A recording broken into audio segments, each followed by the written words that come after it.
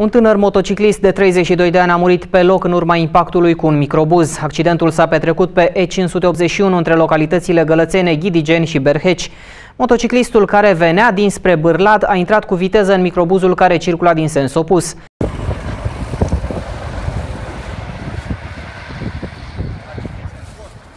Microbusul a semnalizat virajul la dreapta către un drum comunal care ducea către localitatea Ireasca. În urma impactului, atât motorul cât și Răzvan Grecu, de 32 de ani, au luat foc. Bărbatul angajat în cadrul Inspectoratului pentru Situații de Urgență Iași a murit pe loc. Imaginile surprinse de un amator la locul accidentului sunt șocante. În cauză, polițiștii au întocmit dosar penal privind săvârșirea infracțiunii de ucidere din culpă. Serviciul nostru a fost solicitat să intervină în zona de nord a județului Galați, pe raza comunei Priponești, unde a avut loc un accident rutier.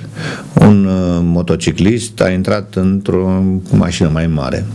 La sosire la fața locului, echipajul nostru a constatat că într-adevăr era vorba de un motociclist, un bărbat de 32 de ani, decedat la momentul sosirii echipajului, cu leziuni foarte grave, traumatism cranian grav, leziuni incompatibile cu viața, foarte probabil și o fractură de coloană. Echipajul n-a putut decât să constate decesul și să anunțe organele de cercetare pentru a stabili atât circumstanțele accidentului cât și cauza exactă a decesului.